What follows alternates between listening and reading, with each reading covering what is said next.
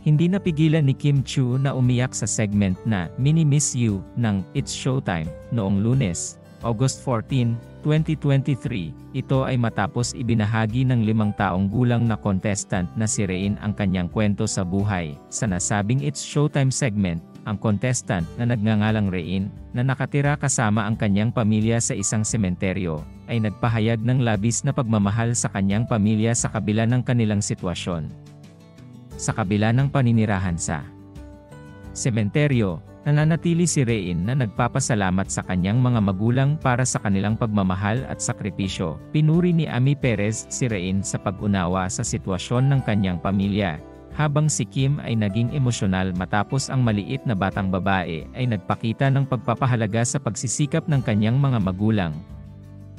Komento naman ni Kim, alam ko rin siyang, nakatira sila sa loob ng sementeryo.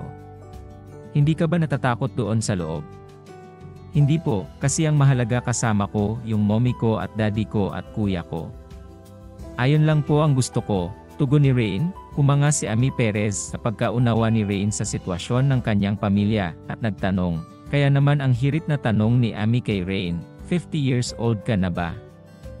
Sabi ni Chang Ami, Nakakabilib si Rain dahil sa murang edad nito ay bukas na ang kanyang isipan sa uri ng buhay na kanilang pinagdaraanan. Saka, tiyang, naiiyak si Rain.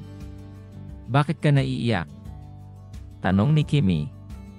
Sagot ni Rain, naawa po ako sa mommy ko at sa daddy ko po. Nang tanungin kung bakit siya naawa sa kanyang parents.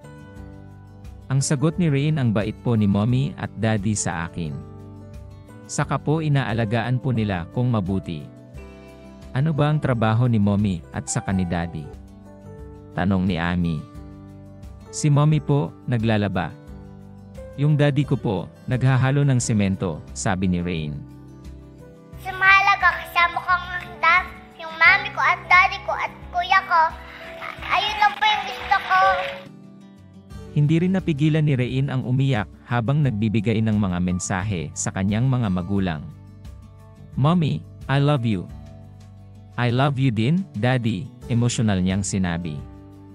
Sa puntong ito ay napaiyak na rin si Kim, na nakuna ng kamera, na nagpupunas ng kanyang mga luha, bakit ka nalulungkot sa mga sinasabi ko?